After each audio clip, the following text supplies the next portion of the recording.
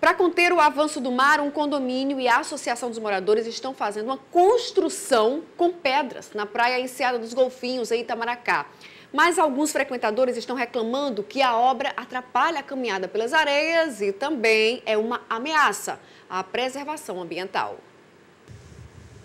Quando chegamos na Enseada dos Golfinhos, em Itamaracá, nos deparamos com uma vista encantadora.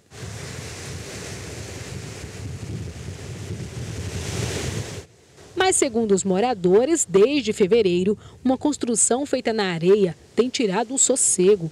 Cerca de 6 metros de alvenaria e mais uma proteção de 15 metros de pedra, feita por este condomínio de classe média alta, tem impedido a passagem dos banhistas. Esta idosa, de 87 anos, gosta de caminhar na praia, mas com a construção teve que alterar o percurso. Não pode passar não, tá muito, tem muita pedra, tem que arrodear. Revoltada, Elódia reclama da obra. Ela diz que a construção é irregular. Não acredita que a prefeitura da cidade tenha autorizado. Essa construção aqui, ela foi feita em cima de três pilastras. Primeiro, de respeitando as leis ambientais.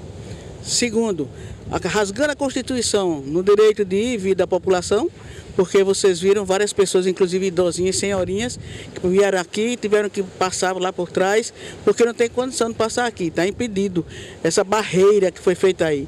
Terceiro, omissão da, dos órgãos gestores de fiscalização. Vocês passaram por aqui e nós não observamos nenhuma placa dizendo qual o engenheiro responsável por essa obra. No condomínio, só encontramos este funcionário.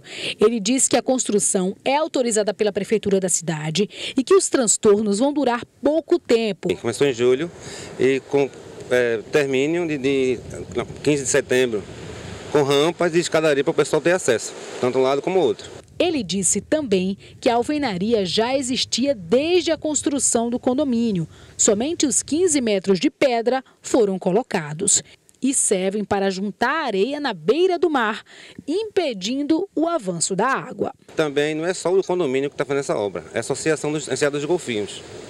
Tem muita gente é, ajudando, né? Porque está vendo uma praia se acabar. Nós procuramos a Prefeitura de Itamaracá, mas até agora não tivemos nenhuma resposta. A Associação dos Moradores dos Golfinhos, que é a parceira então da obra, afirma que houve autorização sim da Prefeitura para o serviço.